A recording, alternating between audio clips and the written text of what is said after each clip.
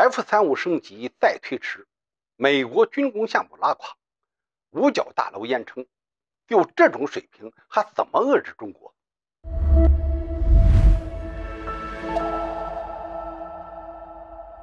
各位网友，大家好，欢迎收看《浩南观点》。美国军工产能咋就拉垮成这样了呢？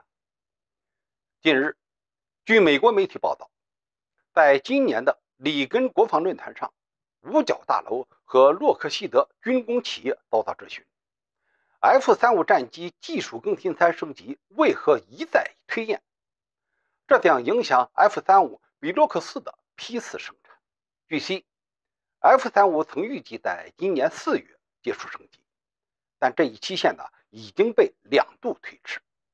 五角大楼和洛克希德公司表示，可能还要再推迟一年。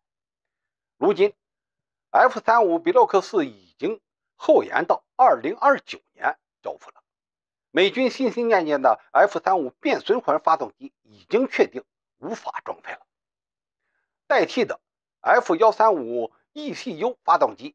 还要面临着改进散热和供电问题，进而解决 F 三五的核心毛病，无法持续长久进行，只能进行超音速飞行。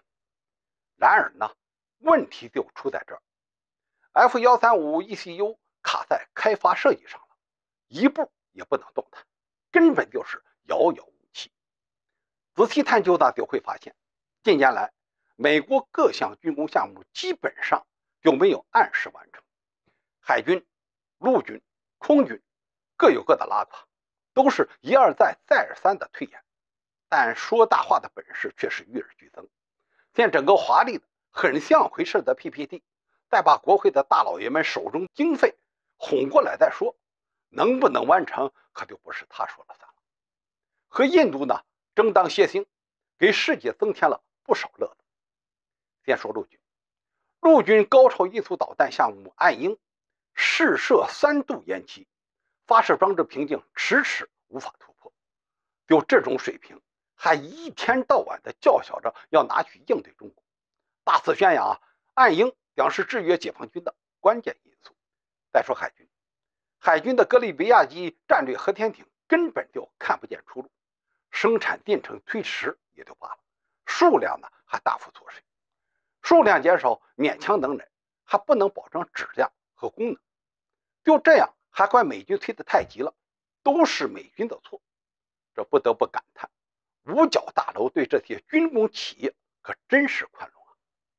最后再说空军，空军呢更是拉胯，各种顶配战机频繁坠机出事 f 三五战机零部件去中国化的进程一拖再拖，进展呢几乎为零。这就不得不说一下美国为应对中国制裁而进行的。供应链摸底了。美国这次排查呢，不查不知道，一查呢，吓了一跳。重要零件多是中国制造也就算了，竟然还被飞机制造商这个二道贩子赚了第一波的巨额差价，同时呢，又被美国国防采购部这个三道贩子赚的是盆满钵盈。拔出萝卜带出泥，越扯呢越来越大，相关人员直接都不敢查了。最后呢，只能让美军默默吐血承受。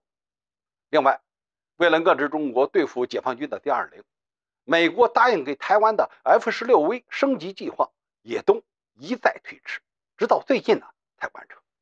而 F 三 V 的问题可能更严重一些，主要是机载武器系统在拖后腿，甚至呢还没完成开发。更为夸张的是，美国洛克希德公司派去台湾的负责人。都不熟悉 F 十六的整体架构，甚至还需要边学习边改装。这一波又一波让人窒息的操作，竟然是美国这个曾经是头号军工强国干出来的。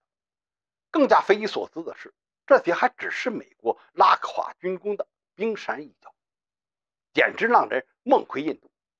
如此状态下的美国，先别想着给中国硬碰硬较劲了。还是赶紧想想如何挽救自己吧。